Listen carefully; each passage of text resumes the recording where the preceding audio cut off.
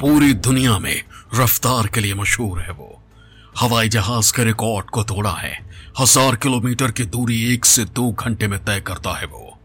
जानते हैं उसका नाम क्या है? बुलेट ट्रेन, जो कल तक सपना था, लेकिन अब वो सपना पूरा होने वाला है। पटना से दिल्ली सिर्फ़ दो घंटे और मुंबई चार घंटे में आप पहुँच पाएँगे। यकीन मानिए, हम आपको कोई सपना नहीं दिखा रहे, बल्कि आपको वो हकीकत बता रहे हैं जिसकी आपने कल्पना भी नहीं की होगी। मेट्रो के बाद अब पटना में बुलेट ट्रेन को लेकर भी ज़मीन पर काम शुरू होता दिख रहा है। बुलेट ट्रेन के लिए तय अलाइनमेंट के अनुसार दिल्ली से कोलकाता जाने वाली बुलेट ट्रेन बिहार से गया होकर गुजरेगी, जिसके लिए बिहार में अब तक तीन ठहराव तय हुए हैं।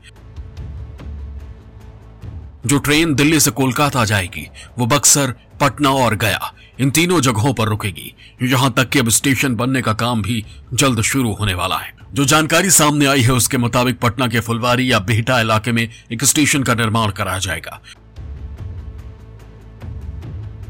हालाँकि जगह को लेकर अभी अंतिम फैसला नहीं हो सका है। आधिकारिक सूत्रों का कहना है कि फुलवारी शरीफ में अगर बुलेट ट्रेन के लिए स्टेशन का निर्माण होता है तो पटना के लोगों को करीब 15 किलोमीटर और बिहटा में बनने पर करीब 25 किलोमीटर का सफ़र तय करना होगा।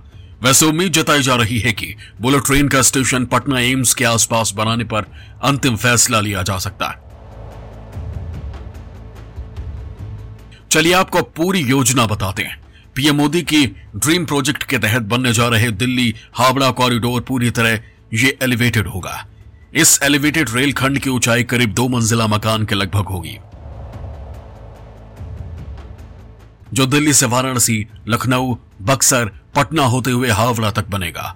पटना और दिल्ली के बीच केवल तीन जगहों पर बुलेट ट्रेन का ठहराव होगा, जो पटना के बाद गया होते हुए ट्रेन हावड़ा तक जाएगी।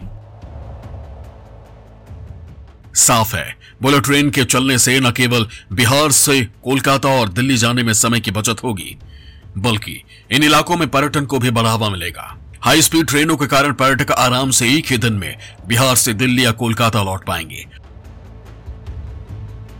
काशी के बाद गया में ही सबसे अधिक विदेशी सैलानी धार्मिक पर्यटन के लिहाज से आते हैं। ऐसे में बुलेट ट्रेन गया को पर्यटन का हब बना सकता है। हाई स्पीड ट्रेन चलने से धार्मिक पर्यटकों का बिहार की ओर रुझान बढ़ेगा।